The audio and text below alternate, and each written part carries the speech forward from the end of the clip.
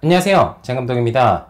우리가 매빅 3를 비행을 하거나 아바타 같은 FPV를 비행을 하고 이런 미러리스 같은 카메라로 촬영을 하는 이유 중에 하나는 영상을 굉장히 멋있고 아름답게 촬영하기 위해서죠. 그런데 매빅 3 같은 카메라의 설정이 다르고 FPV 카메라 설정이 다르고 이 미러리스 같은 카메라의 설정이 각각 다르냐 그렇지 않습니다. 카메라의 설정은 사실 다 똑같아요.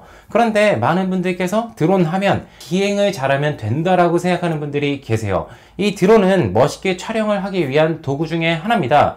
영상을 멋있게 촬영하기 위해서는 카메라의 설정, 카메라의 구도 등 여러 가지 카메라에 대해 많이 알아야 합니다. 제가 불만이 있는 것 중에 하나가 많은 현재 항공 촬영 감독님들도 그렇고 항공 촬영 감독이 되겠다는 사람들도 드론에 대해서 카메라를 공부하지 않고 비행에 대해서만 중요하다고 생각하는 분들이 많이 계세요. 그래서 현업에서 실제로 드론에 대해 카메라 설정을 아예 모르고 auto로 놓고 촬영을 하면서 나는 촬영 감독이다, 드론 감독이다 라고 하는 분들이 많이 계신데요. 사실 그런 분들은 드론 파일럿이지 촬영 감독이 될 수가 없습니다. 촬영 감독은 내가 앵글을 잡고 영상의 설정을 어떻게 찍고 영상 전체를 이해해서 그 영상을 어떻게 만들어내고 어떻게 촬영하겠다 라는 것이 머릿속에 있어서 그 씬을 담아내는 것인데 카메라에 대해 모르면서 비행만으로 그것을 담아내기는 어렵습니다. 오늘은 기본적으로 카메라 설정 이론에 대해서 말씀을 드리고요. 다음 편에서 실전으로 드론의 비행을 하면서 카메라 설정을 어떻게 하면 되는지 설명드릴 수 있도록 하겠습니다.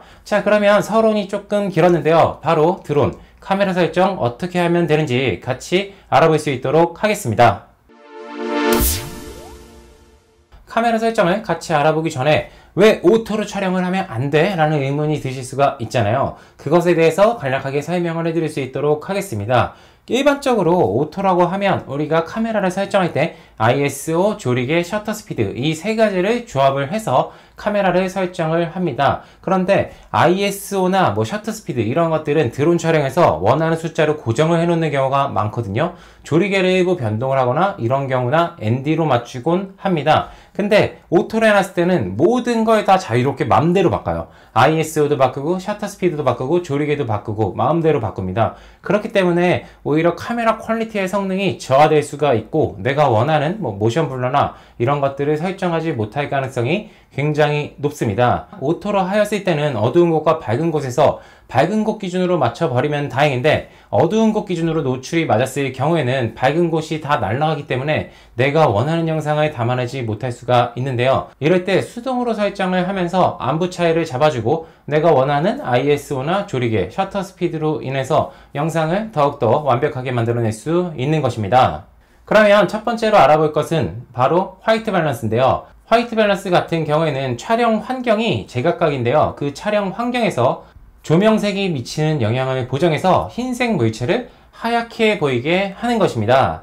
예를 들면 백열등 같은 경우에는 노란빛에 띄는 경우가 있고요. 흐린 날 같은 경우에는 햇빛이 파란빛에 띄는 경우가 있습니다. 이랬을 때 흰색 기준으로 이것을 다 조정해서 맞춰주는 것이라고 생각하면 됩니다.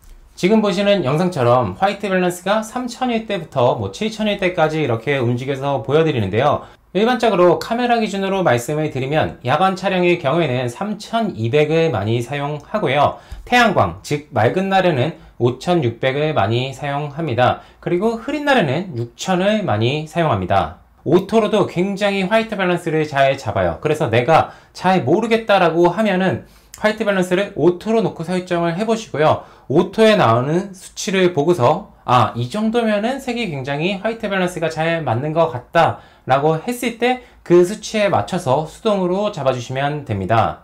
상업 촬영의 경우에는 촬영 현장에서 카메라 여러 대와 드론 촬영이 있을 때는 다 같이 시작을 할 때 white balance를 몇으로 놓고 촬영을 할 건지 공통적으로 맞춘 다음에 모든 카메라에 white balance를 기본적으로 맞추고 촬영을 시작합니다.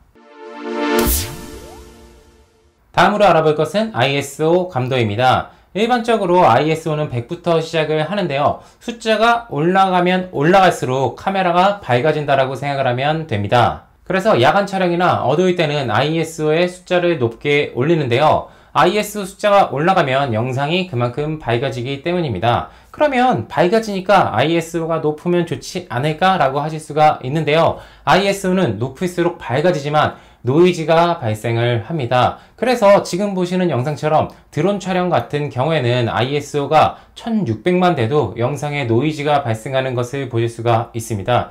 요즘 카메라 같은 경우에는 잘 나와서 뭐 3200이나 6400에도 크게 노이즈가 발생을 하지 않지만 드론 같은 경우에는 카메라가 좋아졌다라고는 하나 아직까지 카메라가 그렇게 성능이 뛰어나지가 않기 때문에 1600 이상을 설정하시는 것을 권장하지는 않습니다. 그래서 기본적으로 낮에 촬영을 할 때는 ISO가 100인 게 무조건 좋습니다. ISO를 최대한 100으로 놓고 촬영을 하시고요. 나중에 다른 설정들을 바꿨는데도 영상이나 사진이 어둡다라고 했을 때 ISO를 조금씩 올리는 것이 좋습니다. 다만 로그 촬영 같은 경우에는 매빅 3 같은 경우에 400, 800으로 되어 있고요. 다른 카메라들도 가장 최적화되게 로그 촬영을 할 수 있는 ISO가 정해져 있습니다. 카메라 같은 경우에는 800이 시작인 경우가 많습니다. 다음으로 알아볼 것은 조리개인데요. 우리가 드론이 맨 처음 출시를 했을 때 조리개가 몇이다, F값이 몇이다 라고 해서 영상이나 사진에 많이 설명을 하는데요. 이 F값 옆에 있는 숫자가 바로 조리개의 수치입니다. 매빅3로 보여드리면 이렇게 카메라 렌즈 안에 조리개 구멍의 크기가 열리는데요. 숫자가 낮을수록 이 구멍이 커집니다. 이렇게 하면 이 구멍을 통해서 들어오는 빛의 양이 많아지는 겁니다. 그래서 이렇게 빛의 양이 많으면 심도가 얕다라고도 표현을 하는데요. 카메라의 out focusing이 잘 된다는 것입니다. 그러니까 우리가 일반적으로 out focusing 된 사진이나 영상을 좋아하는데 이것들은 심도가 얕은 조리개의 숫자가 낮은 걸로 촬영이 됐다라고 생각을 해주시면 됩니다. 그러면 반대로 조리개의 숫자가 올라가면 올라갈수록 구멍의 크기가 작아지는데요. 이럴 때 조리개를 조인다고 합니다. 조리개를 조일 경우에는 심도가 깊어지고요. 전체적으로 포커스가 맞습니다. 그래서 가까이 있던 간에 멀리 있던 간에 조리개를 쪼이면 전체적으로 포커스가 다 맞습니다. 그러면 색수차도 없어지고 뭐 비네팅도 없고 심도도 깊어지고 뭐 여러 가지 입장에서 가장 좋은 게 조리개를 쪼이는 게 아닌가라고 생각을 하실 수가 있어요. 매빅3 같은 경우에는 가변 조리개이기 때문에 조리개를 쪼일 수가 있거든요. 근데 조리개를 많이 쪼이면은 회절 현상이 일어납니다. 회절 현상으로 인해서 해상도 저하가 발생을 하기 때문에 조리개를 너무 조이는 것도 좋지가 않습니다. 그래서 일반적으로 우리가 드론 촬영에서 추천하는 가변 조리개의 경우에 조리개 설정은 5에서 7 정도나 4에서 8 정도를 많이 추천합니다.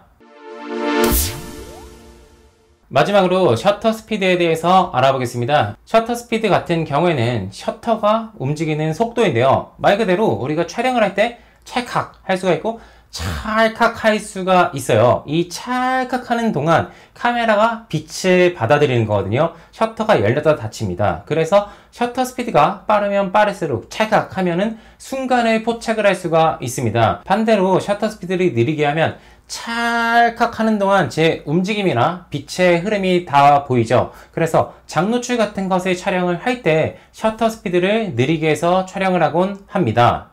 그러면 셔터 스피드를 몇으로 설정해야 돼? 라고 궁금해 할 수가 있는데요. 사실 사진부터 말씀을 드리면 셔터 스피드는 정답이 없긴 합니다. 지금 보시는 사진처럼 움직이는 피사체를 125분의 1초로 촬영을 해도 못 담는 경우가 있습니다. 그 속도에 맞는 셔터 스피드를 설정을 찾아야 합니다. 앞에서 125분의 1로 흔들렸던 새 사진 같은 경우에는 500분의 1초로 하였을 때는 선명하게 담을 수가 있었습니다. 처음 하시는 분들은 셔터 스피드를 띄엄띄엄띄엄 놓고 같은 구도로 여러 장을 촬영을 하면서 셔터 스피드를 다르게 했더니 이런 차이가 있구나 라고 이해를 하시면 조금 더 사진 촬영을 할 때 셔터 스피드에 대해서 수월하게 하실 수가 있습니다. 다만 영상에서는 조금 다릅니다. 우리가 일반적으로 눈으로 봤을 때 어떤 피사체가 빠르게 움직이면 모션 블러가 발생을 하는데요. 우리가 눈으로 보는 것처럼 자연스러운 motion blur는 프레임 곱하기 2라고 합니다. 그러니까 24프레임일 때는 셔터 스피드를 48분의 1,